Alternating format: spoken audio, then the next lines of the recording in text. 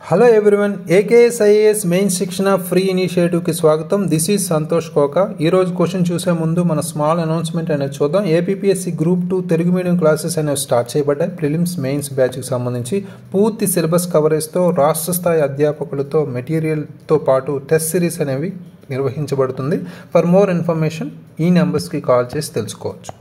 అయితే మెయిన్ సెక్షన్కి సంబంధించి ఈరోజు topic subject related to polity అనేది తీసుకుందాం. Question for fourteenth September twenty twenty four critically evaluate the impact of the recent Supreme Court ruling on reservation in promotions for government jobs how should the policy for reservations be reform to achieve social justice without compromising meritocracy right ఇక్కడ మనం question చూడగానే three steps అనేవి follow అవుతున్నాం. Regular strategy ఇక్కడ question reading అనేది ఒక్క నిమిషంలో మనం ఈ క్వశ్చన్లో ఉన్న ఇంపార్టెంట్ క్వశ్చన్ ట్యాగ్స్ కావచ్చు కీవర్డ్స్ కావచ్చు అర్థం చేసుకోవాలి. దాంతోనే మనం ఇంపార్టెంట్ టాపిక్ సంబంధించి బ్రెయిన్ స్టార్మింగ్ అంటే దీనికి సంబంధించిన ఆర్టికల్స్ కానీ కేసెస్ కానీ అన్నీ మనం ఒక్క నిమిషంలో కవర్ చేయడం. ఇవన్నీ డైలీ ఎక్సర్సైజ్ చేస్తున్నాం. రైట్ సో అయితే ఇక్కడ టాపిక్ ఏంటి? సుప్రీంకోర్టు రూలింగ్ సంబంధించి రిజర్వేషన్ సంబంధించి మనం మాట్లాడుతున్నాం రిజర్వేషన్ పాలసీకి సంబంధించి. Very important topic debatable topic right so ఇక్కడ టూ పార్ట్స్లో ఆన్సర్ అనేది క్వశ్చన్ అనేది అడిగారు. ప్రభుత్వ ఉద్యోగాలకు పదోన్నతుల్లో రిజర్వేషన్లపై ఇటీవల సుప్రీంకోర్టు ఇచ్చిన తీర్పు ప్రభావాన్ని విమర్శనాత్మకంగా అంచనా వేయండి అని మొదటి పార్ట్లో ఇస్తే మెరిటోక్రసీలో రాజీ పడకుండా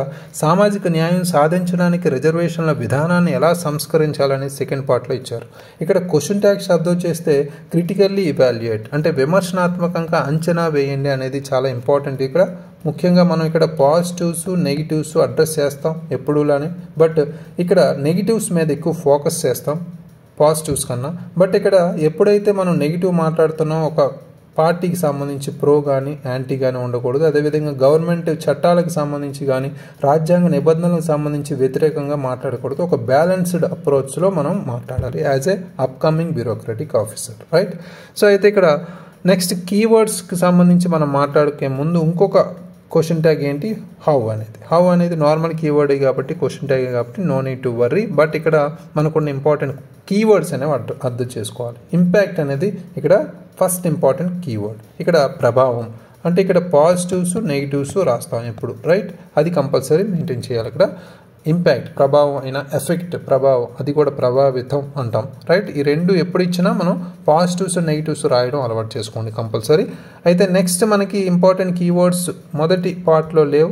నెక్స్ట్ సెకండ్ పార్ట్లోకి వచ్చేసరికి మనకి పాలసీ ఆఫ్ రిజర్వేషన్స్ రిఫార్మ్స్ అంటే సంస్కరణకు సంబంధించి అడిగారు. చాలామంది ఇక్కడ యాస్పిరెంట్స్ ఆన్సర్స్ రాశారు. అందులో ముఖ్యంగా సంస్కరణ అంటే అన్నీ కలిపి రాస్తున్నారు. బట్ ఇక్కడ ఫోకస్డ్ కీవర్డ్స్ ఏంటంటే achieve. To achieve social justice without compromising meritocracy. ఇక్కడ మెరిటోక్రసీలో రాజీ పడకుండా అని ఇచ్చారు. ఇలాంటి కీవర్డ్స్ని మనం చాలా తక్కువ అడ్రస్ చేస్తున్నారు చాలామంది. అది ఫోకస్డ్ ఏరియా. అన్ని క్వశ్చన్లో ఇచ్చిన అన్ని ప్రతి వర్డ్ మనం కంపల్సరీ చదవాల్సిందే. దాని ద్వారా మనకి కొన్ని మిస్ అవుతాయి మార్క్స్ కూడా. అది ఫోకస్డ్ ఏరియా చూడాలి. రైట్?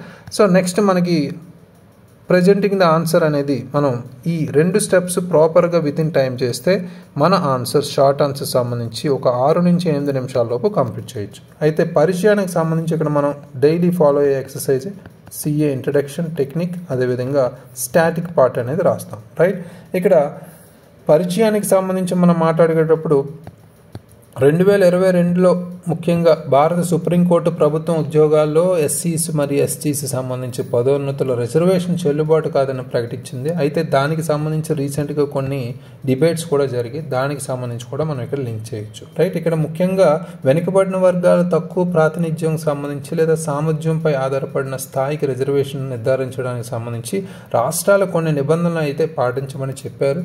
ముఖ్యంగా ఇక్కడ సో ఈ క్వాంటిఫైబుల్ డేటాకి సంబంధించి ఇక్కడ మాట్లాడారు. క్వాంటిఫైబుల్ డేటా అంటే లెక్క ఈ గణనకు సంబంధించి మనం కంపల్సరీ ఫోకస్ చేయాల్సిన అవసరం అయితే ఉంది. అంటే వెనుకబడిన వర్గాలకు అవకాశాలు అందించడానికి ప్రవేశపెట్టబడే ఈ రిజర్వేషన్ సంబంధించి మనం ఈ క్వాంటిఫైబుల్ డేటా సమాచారం అనేది చాలా ఇంపార్టెంట్ రైట్ సో అయితే ఇక్కడ బ్రెయిన్ స్టార్మింగ్ వచ్చేసరికి కంపల్సరీ మనం ఇంపార్టెంట్ కీవర్డ్స్ కూడా అడ్రస్ చేయాలి కాబట్టి పాలిటిక్స్ సంబంధించి మనం ఎప్పుడు రాసినా దానికి సంబంధించిన చట్టాలు విధానాలు పథకాలకు సంబంధించి సుప్రీంకోర్టు కేసెస్ సంబంధించి కొన్ని కరెంట్ అఫైర్స్ ఎగ్జాంపుల్స్ కావచ్చు ఆర్టికల్స్ కావచ్చు అన్నీ మనం ఇంక్లూడ్ చేసుకోవాలి రైట్ సో ఇంపార్టెంట్ రికమెండేషన్స్తో పాటు. అయితే ఇక్కడ ఆర్టికల్స్కి వచ్చేసరికి మనకి సిక్స్టీన్ సబ్ క్లాస్ ఫోర్తో మనం ఇంక్లూడ్ చేసుకోవచ్చు. అదేవిధంగా మనకున్న ఆర్టికల్ త్రీ థర్టీ ఫైవ్ కావచ్చు దాంతోపాటు ఆర్టికల్ పదహారు గురించి మాట్లాడచ్చు. ఇవన్నీ మనకి ఇంపార్టెంటే రైట్ అదేవిధంగా సెవెంటీ సెవెంత్ డెబ్బై ఏడవ రాజ్యాంగ సవరణకు సంబంధించి కూడా మనం మాట్లాడతాం. అదేవిధంగా కొన్ని నేషనల్ కమిషన్ జాతీయ కమిషన్ సంబంధించి supreme schedule caste schedule tribe సంబంధించి కూడా మనం ఇక్కడ ఇంక్లూడ్ చేసుకుంటాం. ఆ రిపోర్ట్ సంబంధించి కాదు ఇన్ఫర్మేషన్ సంబంధించి కాదు లేదా వాళ్ళు ఇచ్చే కొన్ని సూచనలకు సంబంధించి కాదు. రైట్ అదేవిధంగా కొన్ని రిపోర్ట్స్ సంబంధించి జస్టిస్ కేఎస్ రాధాకృష్ణ కమిటీ రెండు వేల పద్దెనిమిది అదేవిధంగా రెండు వేల పంతొమ్మిది మనకున్న నీతి ఆయోగ్ రిపోర్ట్ సంబంధించి కూడా ఇంక్లూడ్ చేసుకోవచ్చు. Standing committee and social justice and empowerment సంబంధించి రెండు వేల ఇరవై కమిటీ. ఇలాంటి రిపోర్ట్స్ అనేవి మనం అక్కడక్కడ ఉపయోగించుకుని వాళ్ళు ఏం సజెషన్స్ చెప్పారు ఏ డేటాకి సంబంధించి కానీ మనం ఇంక్లూడ్ చేసుకోవచ్చు. దాంతోపాటు మనకున్న కొన్ని రీసెంట్ సుప్రీంకోర్టు కేసెస్ సంబంధించి ముఖ్యంగా మనం క్వశ్చన్లో కంపల్సరీ ఇందిరా సహాని కేస్ గురించి కూడా కంపల్సరీ ఇంక్లూడ్ చేసుకుంటాం right so fifty percent reservation సంబంధించి కూడా రైట్ సో ఇవన్నీ మనకి కీవర్డ్స్ అనేవి ఆన్సర్లో ఉండేలా చూసుకుంటాం. ఓకే సో అయితే ఇక్కడ స్టాటిక్ పార్ట్కి వచ్చేసరికి మనం కంపల్సరీ రిజర్వేషన్స్ గురించి కొంతవరకు మాట్లాడాలి కాబట్టి కంపల్సరీ ఇక్కడ సుప్రీంకోర్టు తీర్పు ముఖ్యాంశాలు ఇచ్చే ముందు మనం రిజర్వేషన్ గురించి ముఖ్యంగా మాట్లాడాల్సి వస్తుంది. అంటే ఈ ముఖ్య ఉద్దేశంలో పంతొమ్మిది వందల తొంభై ఐదులోనే మనకి డెబ్బై ఏడవ రాజ్యాంగ సవరణ ద్వారా ఈ ఎస్సీస్ ఎస్టీస్ కోసం పదోన్నతుల్లో రిజర్వేషన్కు అనుమతి ఇవ్వబడింది అనేది మనం బ్యాక్గ్రౌండ్ టాపిక్ చెప్తూ ఇది ముఖ్యంగా ఆర్టికల్ పదహారుని రాజ్యాంగంలో పొందుపరిచిన ఆర్టికల్ పదహారు నాలుగుని జస్టిస్ చేసే విధంగా కూడా తీసుకొచ్చారనేది కనెక్ట్ చేస్తాం. ఇదంతా బ్యాక్గ్రౌండ్ పార్టే ఈ పరిచయానికి నిర్మాణానికి ముందు మనం ఇక్కడ ఇదంతా మనం చేస్తాం. దీనికి సంబంధించిన రిజర్వేషన్స్కి బ్యాక్గ్రౌండ్ సంబంధించి కూడా మనం ఒక ఫ్లో చార్ట్లో మనం చూపించవచ్చు సింపుల్గా అర్థమయ్యే రీతిలో. సో అయితే నిర్మాణం బాడీ పార్ట్లోకి వచ్చేసరికి ఇక్కడ క్వశ్చన్లో డైరెక్ట్గా ఇంపాక్ట్ అని ఇచ్చారు. బట్ సుప్రీంకోర్టు రూలింగ్ గురించి మనం క్లియర్గా కొంత ఇన్ఫర్మేషన్ ఇవ్వాలి కాబట్టి కంపల్సరీ ఇక్కడ కొన్ని ముఖ్యాంశాలు అయితే ఆ రూలింగ్ గురించి కొన్ని ముఖ్యాంశాలు అయితే రాస్తాం. మొదటి కీవర్డ్గా రైట్? సో ఇక్కడ ముఖ్యాంశాలు అనగానే మనం ఎంత చాలా స్పేస్ అది టైం అనేది ఉపయోగించుకోకర్లేదు ఒక రెండు పాయింట్స్లో మనం ఈజీగా కంప్లీట్ చేసేయచ్చు. అంటే ఎస్సీస్ ఎస్టీస్కు పదోన్నతిలో రిజర్వేషన్కు అనుమతి ఉండటంతో పాటు దీనికి ఆధారంగా కొలవగల సమాచారం అంటే మనం ఇందాక చెప్పినట్టు క్వాంటిఫైయబుల్ డేటా అనేది రైట్? సమాచారం అనేది కొలవగలిగేలా ఉండాలి రైట్? ఆ ఆధారంగా మనం సమాచారం సేకరించాల్సిన అవసరం ఉందని ఈ తీర్పు వెల్లడించింది కాబట్టి అది ఒక ఇంపార్టెంట్ టాపిక్ రైట్? సో అదేవిధంగా రిజర్వేషన్ విధానం మనకున్న ఆర్టికల్ మూడు వందల ముప్పై ఐదు ప్రకారం సామర్థ్యాన్ని కాపాడుతుందనే నిబంధనను పాటించాలని సుప్రీంకోర్టు గుర్తు చేసింది కూడా. ఈ రెండు ముఖ్య అంశాలుగా మనం చెప్పచ్చు. నెక్స్ట్ మనకున్న ఇంపాక్ట్ ప్రభావితం లేదా ప్రభావాలకు సంబంధించి మనం మాట్లాడుకుంటే ముఖ్యంగా మనం మాట్లాడుకోవాల్సింది ఫస్ట్ సానుకూల ప్రభావాలు అదేవిధంగా మనం ప్రతికూల ప్రభావాలు విడదీసి మనం చెప్తాం. రైట్? ప్రతికూల ప్రభావాలు అదేవిధంగా సానుకూల ప్రభావాలు. ఈ రెండు ఎప్పుడు ప్రభావాల గురించి మాట్లాడినా ఇలాగే డివైడ్ చేసి మాట్లాడతాం. అయితే సానుకూల ప్రభావాల్లో మనం ఫస్ట్ వెనుకబడిన వర్గాల ఎదుగుదలకు సంబంధించి మనం చెప్తాం. రైట్?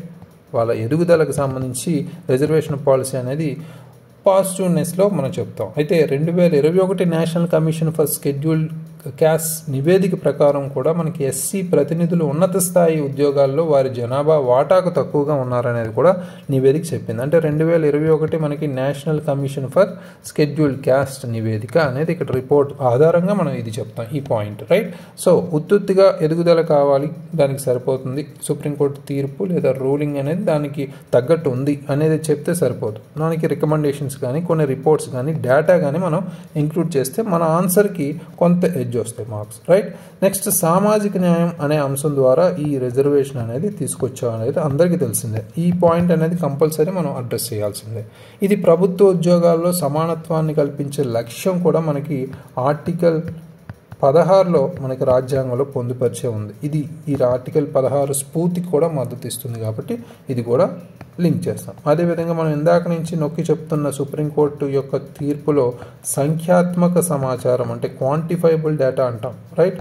సో ఇది మనం ఇక్కడ కంపల్సరీ లింక్ చేసాలి రాష్ట్రాలు ముఖ్యంగా రిజర్వేషన్ సరైన సమాచారం ఆధారంగా అమలు చేయాల్సిన బాధ్యత ఉండాలి అనేది కూడా ఇది తార్కితనం పెంచుతుంది అనేది కూడా చెప్తున్నారు రైట్ సో ఇది కంపల్సరీ నెక్స్ట్ ప్రతికూల ప్రభావాలకు వచ్చేసరికి ఇక్కడ మెరిటోక్రసీకి సవాలుగా మారింది కాబట్టి దాన్ని కూడా మనం ఇక్కడ ఇంక్లూడ్ చేస్తాం.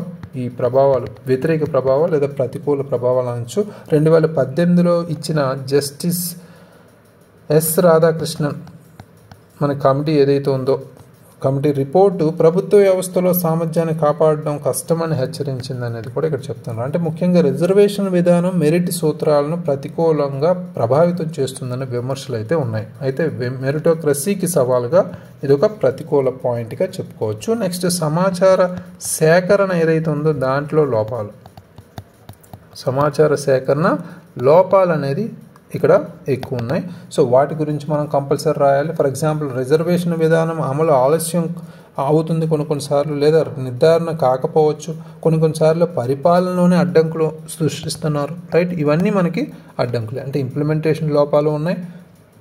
ముఖ్యంగా రిజర్వేషన్ విధానం అమలు అనేది ఆలస్యం వచ్చే అవకాశం ఉంది కోర్టు తీర్పుల మేరకు రైట్ ఇవన్నీ మనకి సవాళ్ళే. నెక్స్ట్ గుంపుల మధ్య మనకున్న ఈ కమ్యూనిటీస్ సంఘాల మధ్య అసమానతలు కూడా మనకి పెరిగే ఛాన్స్ ఉంది అనేది కూడా ఇక్కడ చెప్తున్నారు. ఫర్ ఎగ్జాంపుల్ రిజర్వేషన్ విధానం ఎస్సీస్ ఎస్టీస్లోని గుంపుల మధ్య పెరుగుతున్న అసమానతలను కూడా ప్రస్తావించదు అనేది ఇక్కడ చెప్తారు. ఫర్ ఎగ్జాంపుల్ రెండు వేల పంతొమ్మిది నీతి ఆయోగ్ నివేదిక ప్రకారం ఈ వర్గాలపై రిజర్వేషన్ ప్రయోజనాలు పరిమితంగా కొన్ని ఉపగుంపులు మాత్రమే లభిస్తున్నాయి. తద్వారా ఎక్కువ వెనకబడిన వర్గాలు పక్కకి నెట్టివేయబడుతున్నారు అనేది కూడా ఇక్కడ చెప్పచ్చు. అంటే దీనికి సంబంధించిన ఉపగుంపులు అనేది మనకి ఇక్కడ సబ్ క్యాస్ట్ ఏదైతే ఉందో సబ్ గ్రూప్స్ అనేది మనం ఇక్కడ చెప్తాం రైట్ సో ఇవి మనం ప్రతికూల సానుకూల ప్రభావాలు. నెక్స్ట్ మనకి సెకండ్ పార్ట్లో ఇచ్చిన రిఫార్మ్స్ సంబంధించి సంస్కరణలకు సంబంధించి ఇక్కడ మాట్లాడతాం. ఫైనల్గా నీడెడ్ మెజర్స్ లేదా అవసరమైన చర్యలకు సంబంధించి సంస్కరణలు. మనకి ఏదైతే క్వశ్చన్లో ఇచ్చారో ఆ పర్టికులర్ సైడ్ హెడ్డింగ్ ఇక్కడ మనం మాట్లాడాలి రైట్ మెరిట్ ఆధారిత యాక్షన్ అదే చర్యలు అనేది మనకు చాలా ఇంపార్టెంట్ మెరిట్ ఆధారిత చర్యలు. ఏం చర్యలు తీసుకోవచ్చు? ఇక్కడ మెరిట్ ఆధారిత అంటే మంచి విద్యా శిక్షణ అవకాశాలు అయితే కల్పించే అవకాశం ఉంది. లేదా కల్పించడంపై దృష్టి పెట్టాలి. ఫర్ ఎగ్జాంపుల్ మనకి SC ST skill development programme అనేది ఉంది రైట్? సో ఇలాంటివి మనకి విస్తారంగా విస్తరించాలి ఈ కార్యక్రమాలు అనేవి రైట్? సో అదేవిధంగా మనకున్న ఎస్సీస్ ఎస్టీస్ కోసం క్రీమీ లేయర్ కూడా మనకి పరిచయం చేయాలనేది కూడా కొంతమంది సూచనలు ఎక్స్పర్ట్ సూచనలు కూడా ఉన్నాయి. సో ఇది ఒక పరిష్కారంగా చెప్పొచ్చు అనేది కూడా చెప్తాను ఆల్రెడీ మనకు ఓబీసీస్కి రిజర్వేషన్ క్రీమీ లేయర్ ఎలా ఉందో దానికి సంబంధించి ఈ విధానం ఓబీసీలకు ఇప్పటికీ అమల్లో ఉంది కాబట్టి ఎస్సీ ఎస్సీస్ కూడా అనుమతి ఇచ్చే అవకాశం ఉందేమో దాని మీద కొంత నిర్ధారించడానికి దీని మీద పరిమితి పెట్టాలని కూడా ప్రభుత్వం పరిగణించాలి అనేది కూడా కొంతమంది సజెస్ట్ చేస్తున్నారు. సో ఈ సూచనల మేరకు మనం మాట్లాడవచ్చు నెక్స్ట్ నియమిత సమాచార సేకరణ. మనం ఇందాక చూసినప్పుడు అసమానతలు లేదా సమాచార సేకరణ లోపాలు ఒక ప్రతికూల ప్రభావంగా చెప్పాం కాబట్టి కంపల్సరీ ఇక్కడ సమాచార సేకరణకు సంబంధించి మాట్లాడతాం. నియమిత సమాచార సేకరణకు సంబంధించి. రైట్ సో అయితే ఇక్కడ సంస్థలను కొన్ని ఏర్పాటు చేయాలి. ఎందుకంటే ప్రభుత్వం వెనకబడడానికి సంబంధించిన సమాచారాన్ని సేకరించడం లేదా రిజర్వేషన్ సరైన లేదా తాజా సమాచారంపై ఆధారపడి ఉండేలా చేయడం ఈ పర్టికులర్ ఒక ఒక అథారిటీని నియమిస్తే సరిపోతుంది. ఈ డేటాను నిర్వహించడానికి ఒక ప్రత్యేక సంస్థను ఏర్పాటు చేయాలి. రిజర్వేషన్ లక్ష్యం లేదా కొంత కొత్త సమాచారం ఆధారంగా ఉండేలా చూసుకోవాలి. రైట్ నెక్స్ట్ సామర్థ్యం ఆధారిత పదోన్నతులు కూడా మనకు అవసరమే. కొంత పర్ఫార్మెన్స్ పొటెన్షియల్ లేదా సామర్థ్యం ఆధారిత రైట్ ఆధారిత పదోన్నతులు అనేది రిజర్వేషన్తో పాటు సామర్థ్యం ఆధారిత పదోన్నతులు ఇవ్వడం ద్వారా మెరిటోక్రసీకి ప్రాధాన్యత ఇస్తూనే మన సమాజంలో వెనుకబడిన వర్గాలను ఆదుకునే ఛాన్స్ ఉందనేది కూడా ఇక్కడ చెప్తున్నారు రైట్ సామా సామర్థ్యం ఆధారిత. రైట్ నెక్స్ట్ ఫిఫ్త్ పాయింట్ మనకు చూసుకుంటే ప్రైవేట్ రంగంలో కూడా రిజర్వేషన్ ఇది కూడా రెగ్యులర్ పాయింటే మనం ఎప్పుడు మాట్లాడేది ప్రైవేట్ రంగంలో కూడా రిజర్వేషన్లు అంటే ముఖ్యంగా రెండు వేల ఇరవై మనకి సాంఘిక న్యాయం మరియు సాధికారతపై ఒక సమితి ప్రైవేట్ రంగంలో కంపల్సరీ రిజర్వేషన్లు విస్తరించడం అనే ఆలోచనను పరిశీలించమని సిఫార్సు కూడా చేశారు. రైట్ స్టాండింగ్ కమిటీ ఏదైతే ఉందో షెడ్యూల్ క్యాస్ట్ షెడ్యూల్ ట్రైబ్ సంబంధించి. రైట్ సో ఇది కంపల్సరీ. ఇక్కడ మనం ఇలాంటి సూచనలు కానీ రికమెండేషన్స్ కానీ రిపోర్ట్స్ కానీ మనం గణాంకాలు లాంటివి కానీ మధ్య మధ్యలో ఇంక్లూడ్ చేయడం ద్వారా మన ఆన్సర్ని ఎన్రిచ్ చేసే అవకాశం అయితే ఉంటుంది. రైట్? సో నెక్స్ట్ ముగింపుకు వచ్చేసరికి ఒకటి నుంచి ఒకటిన్నర భవిష్యత్తును ఉద్దేశించి మనం మాట్లాడతాం. ముఖ్యంగా భవిష్యత్తులో అంటే పైన చెప్పిన సంస్కరణలు ఫాలో అయితే ఒకవేళ రిజర్వేషన్ విధానాన్ని నైపుణ్య మరియు సామర్థ్యాభివృద్ధిపై దృష్టి పెడితే మెరిట్ ఆధారంగా ముందుకు సాగితే సమాజం కోసం సంస్కరిస్తే ఒకవేళ. ఇది సాంఘిక సమానత్వాన్ని కొనసాగించడమే కాకుండా వ్యవస్థల సామర్థ్యాన్ని కూడా కాపాడుతుంది. అంటే సామాజిక సమానత్వం అనే దాన్ని మనం ఇక్కడ లింక్ చేస్తాం. రైట్? ఫైనల్గా. ఇలాంటి కీవర్డ్స్ అనేవి మనం ఇక్కడ కాన్స్టిట్యూషన్ లేదా రాజ్యాంగపరంగా మనం ఉపయోగించుకునే కొన్ని సమానత్వం ఈక్వాలిటీ జస్టిస్ న్యాయం అనే వర్డ్స్ని మనం లింక్ చేయొచ్చు రైట్ సో ఫైనల్గా ఇది పర్ఫెక్ట్ స్ట్రక్చర్ దీనికి సంబంధించి. అయితే ఈరోజు రాసిన ఆన్సర్స్లో మనకి యాస్మిన్ uh, uh, రాశారు ఇది ఆన్సర్ చూద్దాం. Uh, సో ఇక్కడ ఇటీవల సుప్రీంకోర్టు ఎస్సీ రిజర్వేషన్లపై వర్గీకరణ చేస్తూ రెండు వేల ఇరవై నాటికి దేవేందర్ సింగ్ వర్సెస్ పంజాబ్ కేసు పునః సమీక్షిస్తూ తీర్పునిచ్చారనేది ఇక్కడ చెప్తున్నారు. Very good CA introduction next రిజర్వేషన్లకు సంబంధించి ఇక్కడ భారతదేశంలో సామాజిక న్యాయాన్ని పొందడానికి ఏర్పాటు చేసినవి అనేది కూడా ఉపాధి విద్యకు సంబంధించి మాట్లాడారు. అదేవిధంగా కొన్ని ఫ్యాక్ట్స్ కూడా ఇక్కడ లింక్ చేసుకున్నారు. బ్యాక్గ్రౌండ్ టాపిక్ రిలేటెడ్గా ఒక టేబుల్తో పాటు ప్రతికూల ప్రభావాలు ఇక్కడ ఫ్లోచార్ట్ రూపంలో ఆర్టికల్ త్రీ ఫార్టీని కూడా రాష్ట్రపతికి అధికారం కల్పించడంపై రిజర్వేషన్లు కల్పించడానికి పార్లమెంట్ ఆమోదంకి సంబంధించి కూడా అనుకూలమైన ప్రభావాలకు సంబంధించి విద్యకు సంబంధించి ఇక్కడ మాట్లాడారు. జనాభా లెక్కల ప్రకారం అక్షరాస్యతలో ఇది ఎంతవరకు పెరిగింది అనేది కూడా ఇక్కడ చెప్పారు. విద్యను పెంచడానికి విధాన హక్కు చట్టాన్ని కూడా ఇక్కడ చెప్తున్నారు. అదేవిధంగా మనకి ఇరవై ఐదు శాతం ప్రైవేట్ సంస్థల్లో కూడా అవకాశం అనేది కూడా ఉందనేది కూడా చెప్తున్నారు. ఉపాధికి సంబంధించి labour service of India survey of ఇండియాకి సంబంధించి నిరుద్యోగుల రేటుకి సంబంధించి చెప్పారు. సామాజికంగా చూసుకున్న రిజర్వేషన్లు ఉద్యోగ భద్రతను కల్పించడానికి అసమానతను దూరం చేస్తుందనేది కూడా ఇక్కడ చెప్పారు. ఉదాహరణ ఎస్సీ ఎస్టీ మరియు బీసీ కమిషన్ ద్వారా కల్పిస్తుందని.